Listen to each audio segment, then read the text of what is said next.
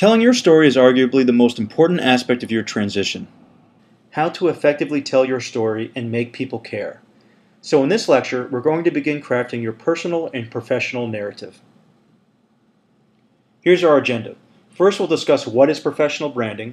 Then, we'll provide a framework for telling your story. We have one action item for you to complete, and then we also have some additional reading materials as well. Your brand is what people say about you when you're not in the room. It's how you look, act, speak, it's your character, it's your values, it's everything about you. In other words, it's your reputation. Are you the type of person that others want to share a foxhole with? All right, so this is all your branding. Now, here's the challenge how do you communicate it?